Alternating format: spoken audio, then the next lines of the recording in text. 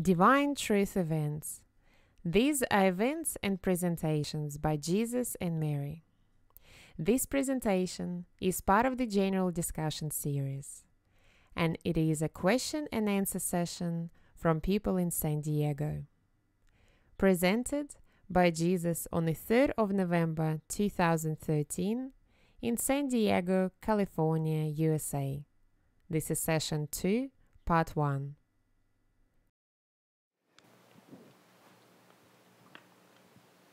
I had a question on law of attraction, uh, personal law of attraction versus, you know, group law of attraction.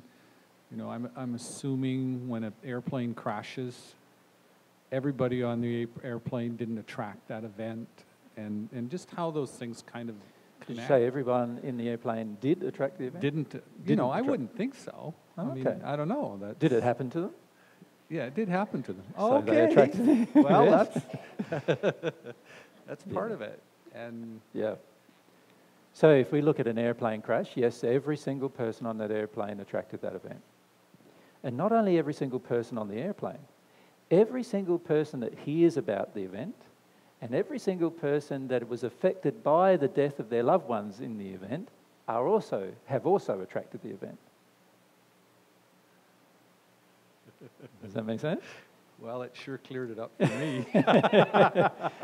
Um, in a presentation I did in Melbourne in, I think it was 2009 or something, or 10, um, one lady asked me about uh, law of attraction events involving rape.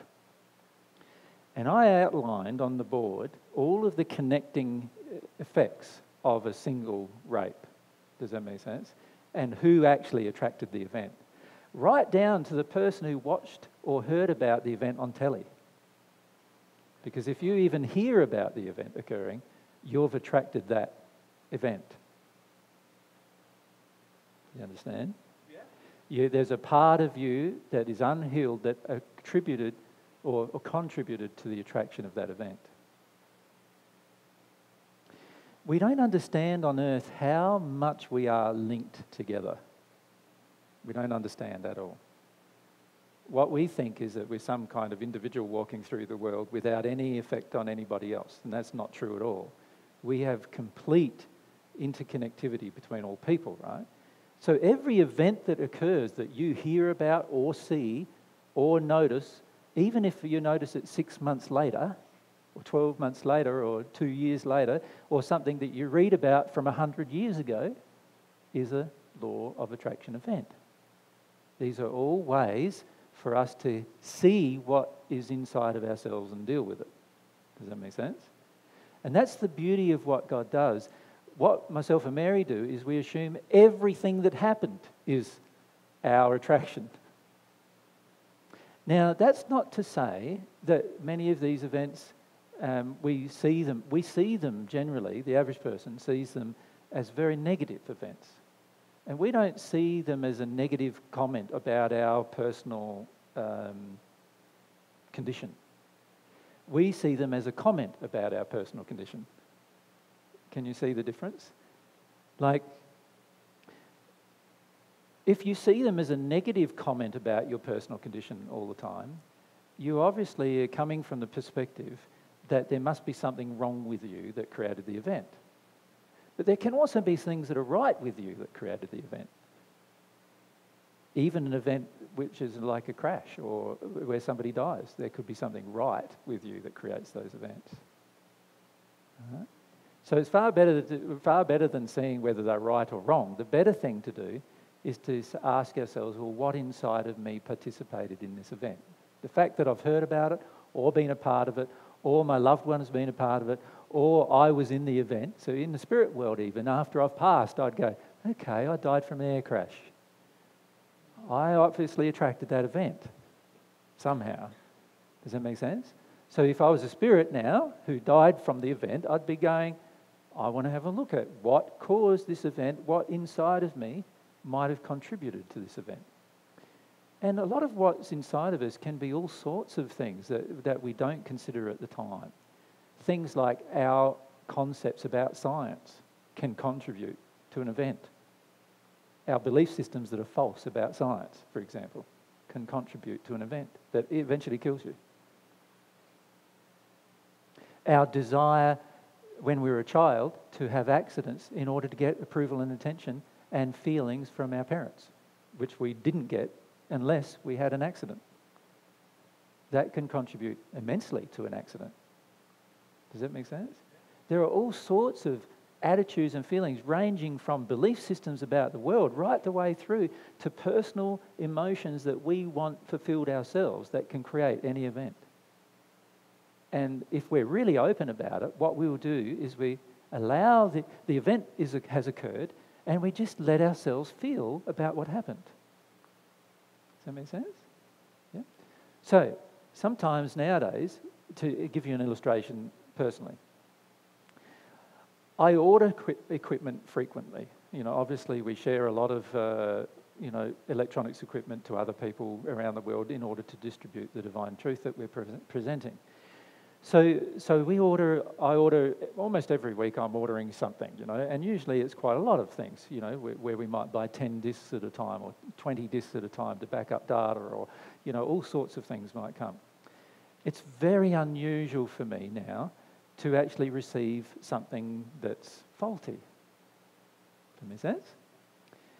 Now, I had a spate two weeks before we left uh, home where every single thing I ordered that week was faulty. It arrived faulty. Now, it's interesting because I wouldn't have thought it before then, but I had to go out and, and yell and scream a bit outside because I was angry about the fact that everything I'd ordered that week was faulty. And I had to go outside and have a good yell and scream about it before I could connect anything emotionally about it. Does that make sense? And the irony was, this particular week, every single person that I tried to contact to fix the problem would not respond to me. They would not respond to me. I tried to phone them, they wouldn't respond. I tried to email them, they wouldn't respond. Like, and we were like a week later, we're going overseas for six weeks. It was like all of this gear was going to have to be sent back, but they wouldn't even tell me how to send it back. They wouldn't tell me anything. Right? So I had to go out and yell about that a fair bit outside as well. Does that make sense? The fact that every person was ignoring me was what came up for me emotionally. They were just ignoring it. And then uh, it was interesting too with the events because, with all of these events, because I had a strong feeling that the people who sent the guilds to me actually knew that they were faulty before they sent them.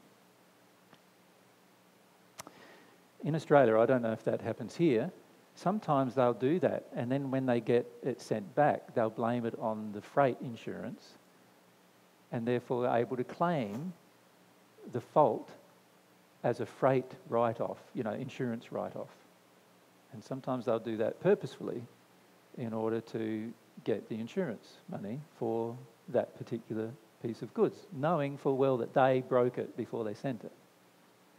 And the reason why I suspected that was because many of the packages had been pre opened, which is pretty unusual. Most times we get things like you do here, all wrapped up and closed up, and you know, no one's pre opened it. So I had to go out and feel about that. the fact that they knew in advance that it was faulty and they just did it for the sake of their own like expedience really, their own like desire to rip off the insurance.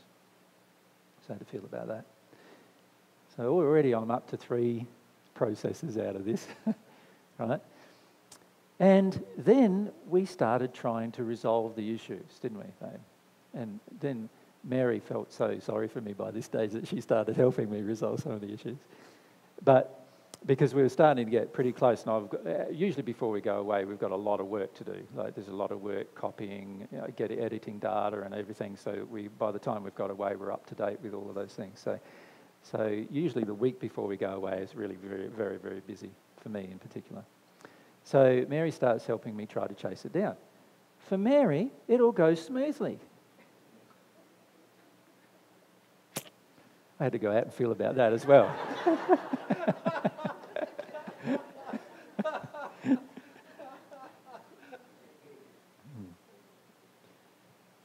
But, but the one thing I do see, the, it, the fact that I had to go out and feel about it was, and now I'm pretty sensitive to what it triggers, of course. But the fact that I go and feel about it means that the events were my attraction. Does it make sense? They were what I attracted. And I had to work my way through the different feelings that got created as well. As it turned out, we resolved all of the events the day that we travelled. Right? But I feel that if I didn't process at least some emotion during that week, it's highly likely I would have had to actually accept all of those goods that we ordered as faulty and just taken to the dump.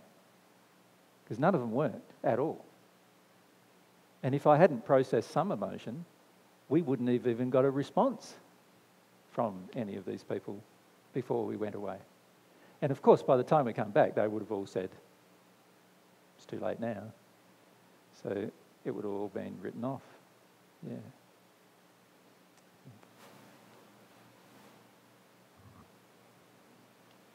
Can we be unloving to plants or inanimate objects in the process of processing our emotions? Of, of course. Not so much to inanimate objects, but certainly to living objects like plants and animals and all sorts of insects, creatures. You, you, honestly, what do you do when an insect, when a mosquito lands on you? Bang, bang most people, right, um, would do that. That's being unloving to a, a law of attraction event that you actually drew to yourself. Now, I can understand why you do it, because you're angry. Right? Isn't it? Would, would you kill anything if you weren't angry? Probably not, right? So you must be angry. If or, or you might be afraid, but either way, you, you killed it. So it's a response. It's a law of attraction event. And the fact that your body drew that insect to you and that insect was willing to bite you is an indication that there's something inside of you that's open to that. Now, it doesn't mean there's something negative inside of you necessarily. It could be, when I say negative, it doesn't mean that, you know, you're a terrible, bad person because it. it could be just simple that you don't have a good opinion of yourself. Something like that. And that causes insects to bite you. Does that make sense? So, and in fact, if you put all the people who get bitten by insects very frequently together, and you put all the people who don't get bitten by insects frequently together, and then you analysed psychologically their feelings about themselves, you know what you would find? That all the people who get bitten by insects actually have poor self worth. So you could actually choose to have the insect land on you and, you, and watch what it does, you know. And then you could go, okay, if it's just crawling over me and, and then flies off, well, that's one response. If it lands on you and bites you, that's another response. You see? And all of these events are attractions that are occurring in your soul. They're, they're all things you attracted. It's happening to you. It's not because insects want to eat, drink blood that they cause to bite you. It's because you are open to somebody sucking your blood. Right? And then if you look at your life, you go, yeah, but basically I'm open to people doing that too, pretty much. Like, not from a literal sense, but from a vampirish sense of sucking my time, sucking my energy, sucking my life out of me. And a lot of times that's driven by a lack of worth. Now, the average person would respond angrily to that. So if somebody sucked your life out of you, you get all upset and you go, oh, that person, I don't want to spend any more time with them. What I'll do is I'll create some boundaries so that they don't, you know, spend time with me. And we, we, we intellectually create these boundaries, say, you can't spend any more time.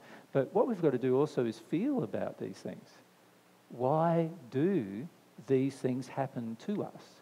They happen because there's an emotion inside of us that we're not addressing. That's why they happen to us. So if we analyze the law of attraction, and I've given many talks about the law of attraction, but I don't know if I've ever actually given a complete talk about the law of attraction because almost everyone gets very, very confronted about the law. And, and so what we find happening is everybody goes off on tangents about it, and I, and I never get to present all the information I want to about the law itself. But the law of attraction is a law of love. Because remember, every law that God created is based around love. So the insect biting you is a loving way to inform you about your soul condition. It's far better than a person biting you or a dog biting you, isn't it? An insect biting you is a much mi- a minor event, is it not? Although sometimes we might think not. But each one of these laws are a loving law. And what God does constantly is all of God's laws are constantly being loving to us, trying to show us what's going on in our life, trying to demonstrate to us what the problem is inside of our soul. Now, the problem might not be how we treat other people, although often we, it is about that. So there are usually two or three, or shall we list all four? things that we need to consider with our problems with regard to the law. The law of attraction is going to expose, number one, how others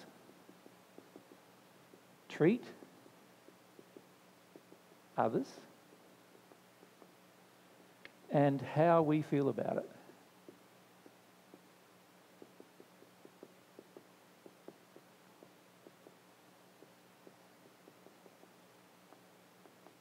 Does that make sense? So, in other words, you're watching something on telly. It's about something going on in Africa. It's about, let's say, it's something that we saw recently, and that's certainly our law of attraction because we we're working on certain issues. Mary is, and my, I am about sexual abuse and stuff like that regarding a woman, a woman getting abused.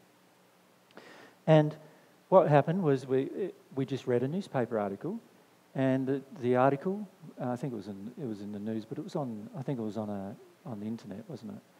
And and the article I think said something like 75% of Kenyan girls will be raped by the time they are I think it was 14 years of age. Right? And it said that uh, some 99 point something percent of them will not be educated any longer than one year something like that. I forget the exact statistic. Now, Mary and I are reading it. Right? What does that tell me? There's a feeling that I and Mary need to deal with about that statistic. Does that make sense? There's got to be something going on inside of us that has drawn this piece of information to us which is an outrage, really. So there's a, you might be anger first that you feel about it. Then you might feel some fear about it personally, about you know, and sadness about it. And if we reflect on our personal lives, like quite some bad things happened to us in the first century, both to myself and Mary in regard to abuse. And so we have to feel about those things a bit more, obviously. Otherwise, we wouldn't have attracted any information about that event that would affect us at all. So Firstly, it's about how others treat others and how we feel about that. The law of attraction is there to help us come to terms with that.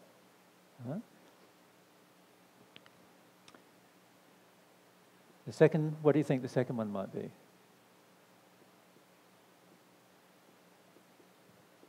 How others treat us and how we feel about that. What do you think the third one might be? how we treat others, and what we and they feel about that. And what do you think the fourth one, fourth one might be? I treat myself. Now, I'm going to reorder these in terms of our preference because that's not the order that we prefer to deal with these issues in. What would be the order, do you think, of how we prefer to, to do. Reverse the last two. Four is one, you reckon? Let's talk about it a bit. How many of us believe there is any of our emotions involved in that event?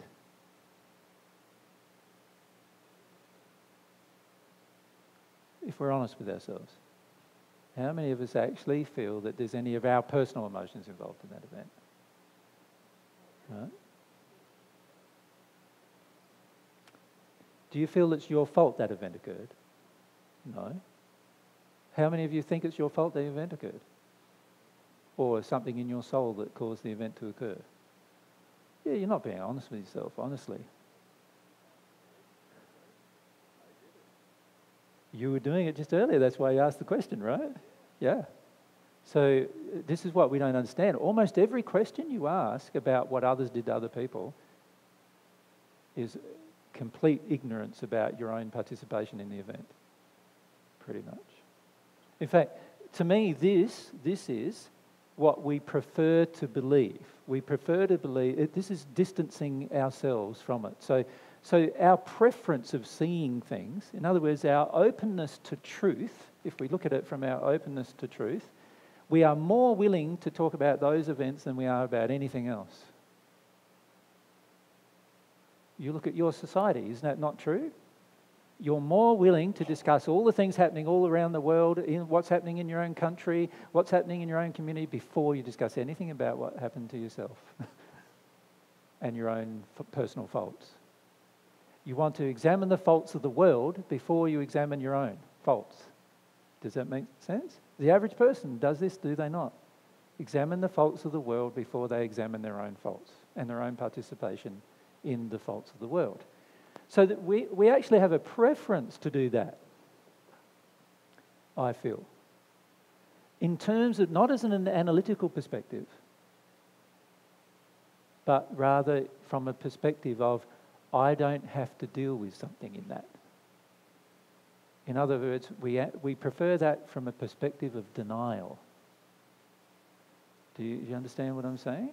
We prefer to talk about events in the world so that we can deny any participation of our own in them. And the average person does this. The average person goes, Oh, isn't it terrible what happened over there? And we we go on merrily with our lives. We don't have any personal reflection, generally, that there is something wrong with what happened over there because of something we did or some emotion, more importantly, some emotion that's inside of us that caused it or created it. Do you follow that? So, generally, I find what most people prefer to do is talk about those events. They talk about them, they do nothing about them, generally, but they talk about them. Mary's all projecting at me as well. You don't agree with me, but that's fine.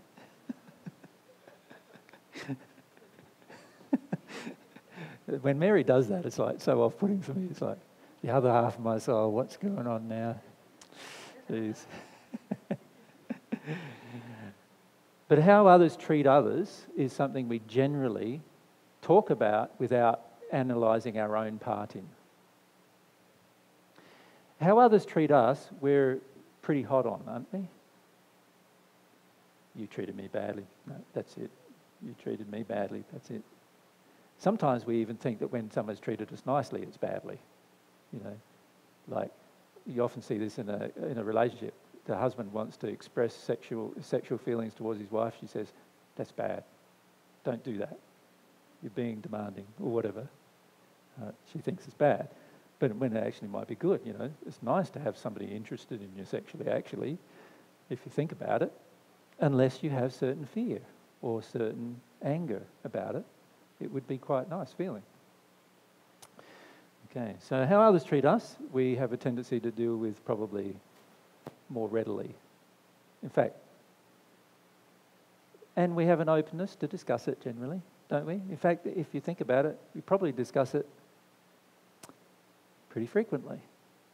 That person, you know, what Denny did to me the other day. I have to tell you about it I have to share it, you know. I find this happens to me quite frequently where, you know, I say something to somebody, do you know what AJ said to me? And like it goes worldwide on forums and stuff, you know, like what I, what I said. And a lot of times it's not what I said, but you know, and sometimes it's tempting. Oftentimes we have a recording of what I actually said, and if you compare the recording to what they claim I said, it's quite often quite different. But it was their interpretation of what I said, and they think I've treated them badly, and so that's where it gets uh, how others treat us. We're really intent on dealing with that. But then I feel personally that these two are usually reversed.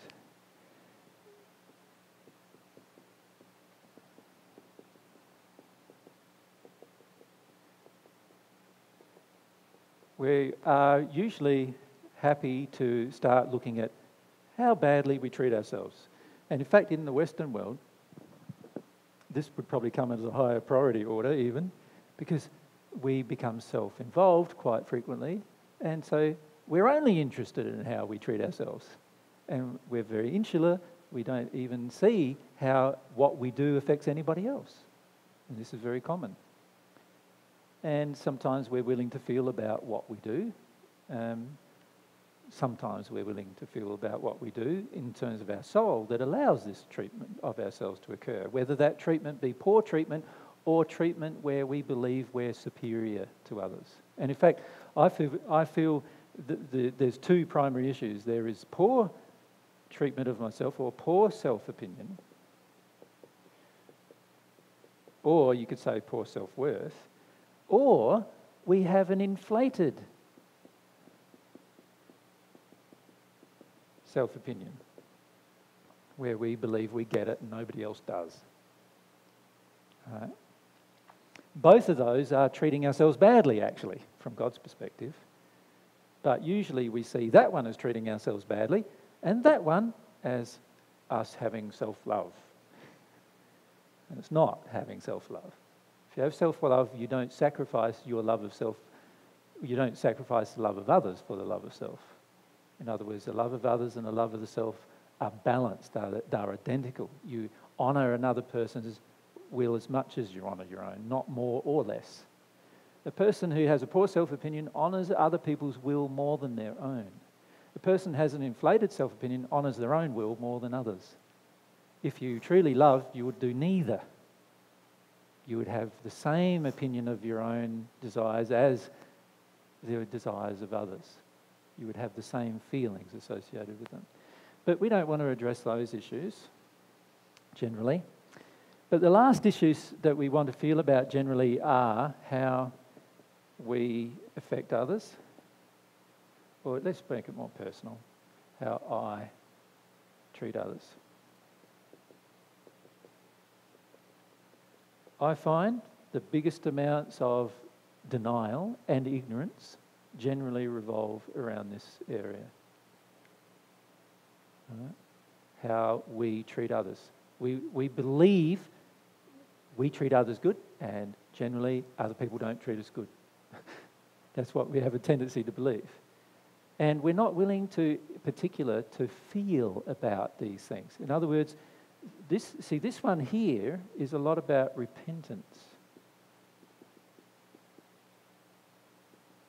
In other words, it's the way that we treat others that causes the most damage to our soul generally. And in fact, it's the way these two things and this one here that causes the majority of damage to our soul. Now, the majority of people don't believe that. The majority of people believe that it's the second one that causes the majority of damage to your soul. This one here. My pen's just. That's working. No one's going to run out. Does that make sense? The majority of us feel that how others treat us caused all of our soul damage. And then when I talk about, you know, you're brought up in an environment, you're brought up in a family, and you're brought up, and what happens before the age of seven often determines the rest of your life. And most of us then feel that that's what's causing most of our soul damage then. And so this gives us someone else to blame, right? Doesn't it? It gives us a lot of, we can say it's always mum and dad, or it's always our environment, or our school teachers, or whatever, who created all of our damage. But it's actually not. What they create, created was a fertile ground for us to choose to be unloving to others. But we still had to make a choice. We had to deny that we were being unloving to others, and we had to remain ignorant that we were being unloving to others. So we had to make those two choices. And then we had to choose to actually do unloving things to other people and make that choice too. We had to choose to impose their, our addictions upon other people. So we had to make that choice as well. Right? And this is what we eventually do. We, we, we think that this is our main problem when our main problem is the rest of it. How we treat other people, how we treat ourselves, and how we allow others to treat others without feeling about it at all. These are our primary issues of love. Now, any person who focuses on these three things in their life on earth and works their way through that, they, they will eventually get to a lot of the emotions associated with this anyway. Because they will have to go through repentance, which will trigger a lot of these emotions of how other treated you. You'll have to go through forgiveness of yourself, right? Which will also help you to forgive others. And you'll have to go through the awareness process of self responsibility of what's inside of ourselves and how that harms other people, which is that one. You'll go through that eventually. And the law of attraction, this law of love, is there to help you with all of those things. But as I say, the majority of people don't look at those things, they only look at that with the law of attraction. That's all they look at. Can you see when you close down all the rest and you only look at how others have treated you with the law of attraction? You're pretty much cutting off at least three quarters of your own development.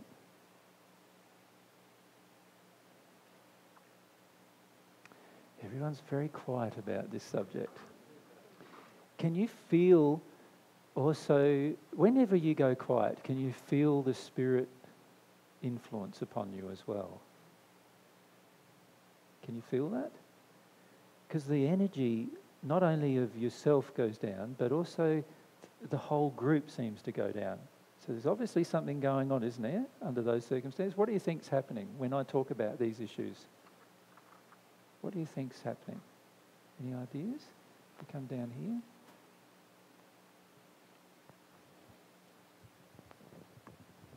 Um, there's an evoking of divine truth for myself as far as that essence coming in. So there's some truth coming to us Mhm. now. But what is it truth about? It's a personal truth, isn't it, that we're having to reflect upon now. It's a lot easy, it's easy to talk about other stuff. But when it starts talking about oh, how am I, what, how do I react in my life, now we start getting, whoa, it's getting a bit heavy. Right? Isn't that what happens? And many of us start feeling guilt. We start feeling like we've got a bad conscience about things that have sometimes that have happened in our past start coming in. And then, of course, there's a whole heap of spirits who are in places they don't want to be in, and they want everything else other than themselves to be the reason why they're there. And most of us in our personal life have the same feeling, don't we? We want everything, if something bad is happening in our life, we want to blame everything other than ourselves. And if something good is happening in our life, we want to say it was all because of ourselves. Isn't that how we are? we this is a ethical. This is something that we've discussed in a number of, with a number of people with, on our trip. Our internal ethics are often flawed. What we do generally is when it comes to our ethics, we say that anything good that happens in our life happened because I attracted it.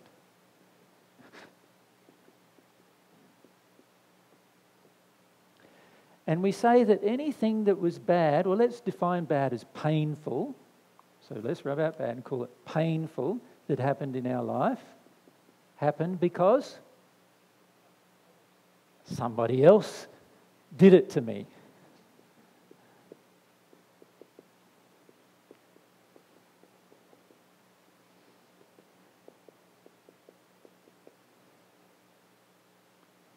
This is what we do. And when this starts getting exposed, we start getting very quiet about the situation. We don't want to come face to face with our own unethical and oftentimes immoral behaviour. What we want to do instead is we want to see no, it's all somebody else. It's all what other people did to me. And what I notice a lot of people doing when they hear divine truth initially and they hear my statements of how a lot of our injuries get created, they start going, That's all my mum and dad. I can see that. Now I've got someone to blame. Isn't it wonderful? I've got someone to blame. I can blame them for the rest of my life now. Right? And all we're doing there is focusing on how others have treated us. And we're ignoring how we've made decisions out of harmony with love and how we have addictions that are out of harmony with love and how we treat other people. We're ignoring all of that. We're, running away from all of that. We're ignoring what comes to our, through our law of attraction to ourselves to expose those things, even.